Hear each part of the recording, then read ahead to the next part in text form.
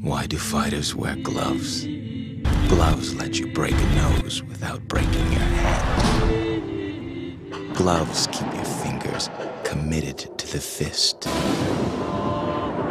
Gloves keep the blood and the tears off your hands while you're working. And gloves don't leave fingerprints. It's going to be murder.